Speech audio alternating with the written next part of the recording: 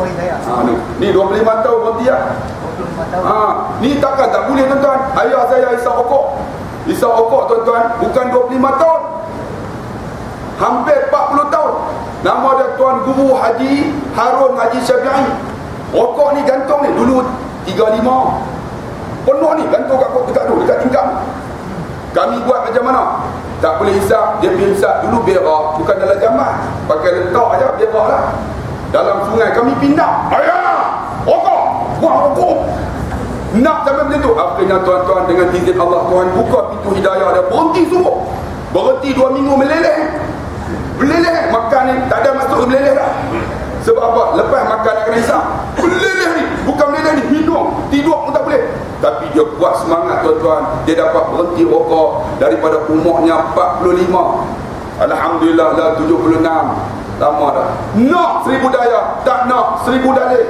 Tuan-tuan, kalau kita pergi umrah, pergi haji, nak dapat haji mabrur, benda yang tak elok kita tinggal, mabrur kita. Tapi kalau dia buat juga, tuan-tuan, sia-sia yang kata labbaik Allahumma labbaik, labbaik la syarika lak labbaik ni nak buang syirik. Yang kita duk lontak tu, rajman di syayatin wa hizbi, nak buang syaitan. Sebenarnya kita lah yang syirik, kita lah yang syaitan ada pada diri kita. Kita jumpa lagi, tak kira saya kena berhenti. Pukul satu, insyaAllah. Kita akan sambung khutbah nanti insyaAllah 25 minit ataupun 30 minit aja. sebab tuan-tuan nak bekerja. Saya ni tak kerja dah. Penceramah bebas walaupun tak berapa bebas. Ha? Oti tu eh ha, Oti tu eh lah cik Ha, lepas tu 27 bulan saya nak main pula. Malam no? Tentang malam ramai-ramai no? Ha, Ni baru mukadimah 27 ni lagi hebat. Jadi saya nak bagi korang satu Apa yang ada ni ambil lah tuan-tuan. Buku ni free-free. Nah bang, bagi tak? Yang ni ada apa?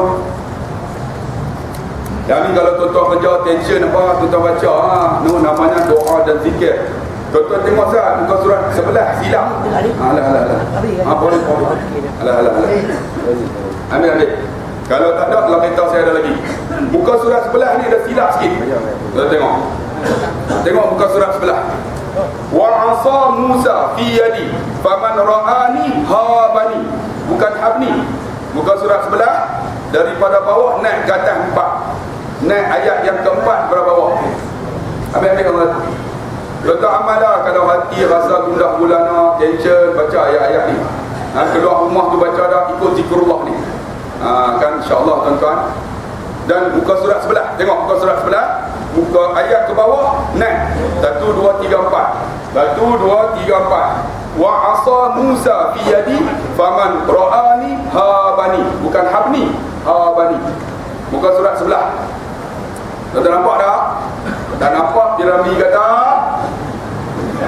ha, mau nampak ha, ha, ha, ha, ha, ha, bani, ada alif Ha bani. Ha bukan ha bani. Ha alif. Ha alif ba dunia. Ha panjang. Nak boleh tak? Ha ubah-ubah. Uh, tungkat Nabi Musa di tanganku Barang siapa yang tengok aku rasa hebat uh, Tak payah tu pakai tangkai pun tak Baca ayat ni eh? Tungkat Nabi Sulaiman di lidahku Barang siapa yang bercakap dengan aku Aku doa Makbul insyaAllah Wa nuru Yusuf Wajah Nabi Yusuf Di wajahku Siapa tengok aku Dia suka kat aku Ha, ini ayatnya untuk rukyah pelindung diri. Kalau tuan-tuan hafal muka surat sebelah sampai habis. Tuan-tuan dah ingat telefon saya. Saya akan turun ijazah pada tuan-tuan tuan-tuan boleh beramal. InsyaAllah tuan-tuan. Setakat itu, kalau tuan-tuan rasa nak derma tuan-tuan, saya nak buat pondok ma'at tafis belakang ni. Tuan-tuan masuk tak? Kan? Dalam jadi Islam ke? Ataupun pemimpin ke? Kalau orang ni pun nak derma boleh tak? Tak jadah ke belakang tu kan? Leno?